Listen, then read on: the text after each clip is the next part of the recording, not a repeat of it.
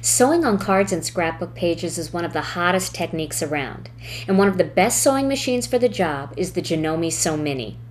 You may have purchased one of these machines and found it easy to use, but for those of you whose machine still looks like this, I'm going to help you break your fear of sewing, and in the next 15 to 20 minutes, you'll be sewing on your projects too.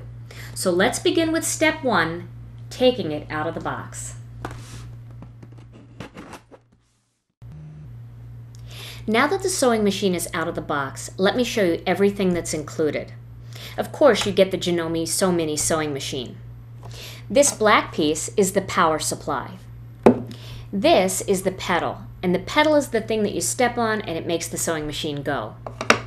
You also get two bobbins, and you can purchase extra bobbins to make extra colors, but two is plenty to get you started. You get a needle threader to make threading the needle easier, you also get a spare needle in case you break one or it gets dull. You get a warranty card that you just fill out and send back. And then you also get an instruction booklet. Now the only additional items that you're going to need is thread.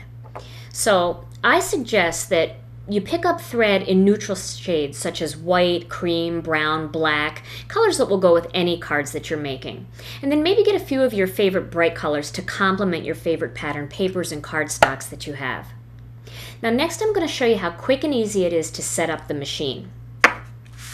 The first thing you need to do is plug it in and get it ready to go.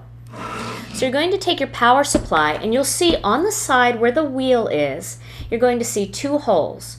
Now the one that's black is the one that the power supply goes into. And then this end gets plugged into your wall.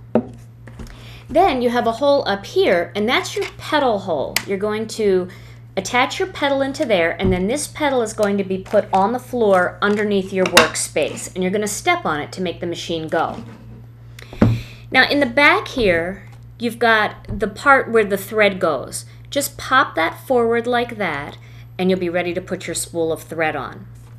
And then you'll also notice that there might be a piece of paper just protecting your presser foot. So right here is the little thing that raises up the presser foot. You're just going to lift that up and you're going to pull the paper out from underneath.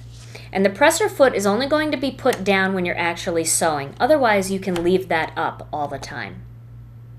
Okay, so now we're going to change the camera angles because I'm going to show you how to thread the bobbin, how first to wind the bobbin, and then how to thread the machine.